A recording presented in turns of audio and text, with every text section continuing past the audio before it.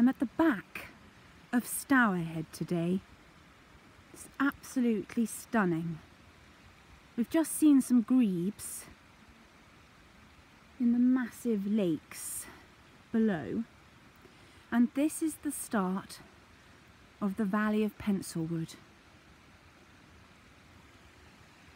I'm observing this beautiful old farm that's walled. Obviously I'm by a road, so occasionally you'll get a car flying past. But you've got this beautiful tree in front and it's covered on the branches. It's covered in ferns. Can you see? Look at that. The beautiful emerald greens of winter through the valley the pine trees, the reddy browns of the, some of the pine trees, and lots of old oak trees. This is where the spring starts for the River Stour. It all begins at Stourhead.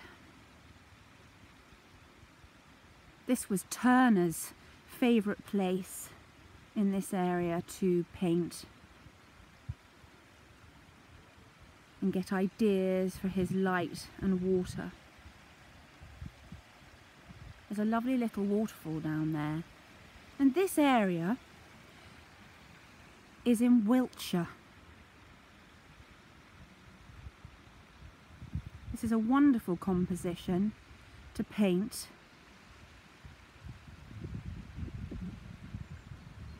and there's lots of angles.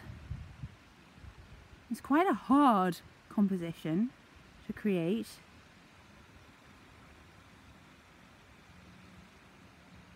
And the light today is full of greys, sort of warm, earthy shades of winter. And then you've got this lovely cut hedging. Just the sound of the water from the natural springs and the big ponds just make you feel so good on a cold winter's day. This is the winter solstice today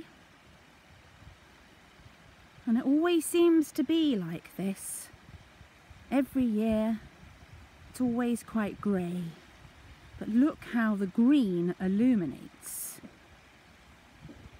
in between the earthy browns